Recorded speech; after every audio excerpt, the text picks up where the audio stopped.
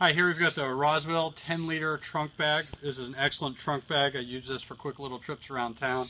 Uh, on it, you've got uh, one main large compartment. Uh, in it right now, I've just got some uh, some spare tools and whatnot. I've still got a ton of room in there. Got a lock and a repair kit, pump tire, uh, and the tube. Uh, still have tons of room in here for a small shopping trip or or whatever. Um, if I wanted, I could actually stick most of those repair stuff in these side pouches here, um, which are also pretty large.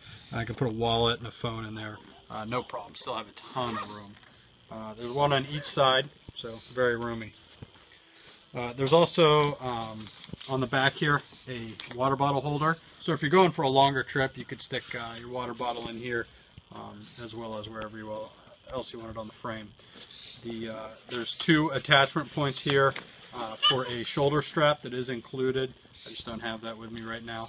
Um, so you can throw that over your shoulder as you're going on your shopping trip or walking to the office or whatever. Uh, the attachment here is uh, you've got two Velcro straps in the front, uh, very secure, so it'll fit a longer rack if you need to. Uh, that holds it from sliding off the back. And then you've got a set of Velcro straps underneath that will attach it to any rack. Uh, so you don't need a special rack, it'll work with any rack you've got.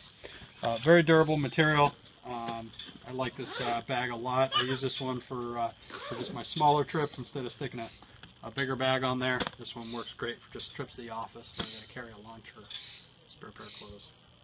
Uh, the Roswheel 10 liter trunk bag. Very nice.